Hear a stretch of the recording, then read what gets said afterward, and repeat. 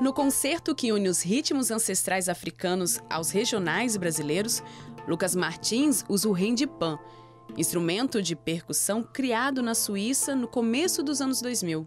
No repertório, a música afro-brasileira e suas vertentes como o choro, o ijexá e o baião. É um trabalho em que eu misturo percussão com vários instrumentos que caminham para esse lado sinfônico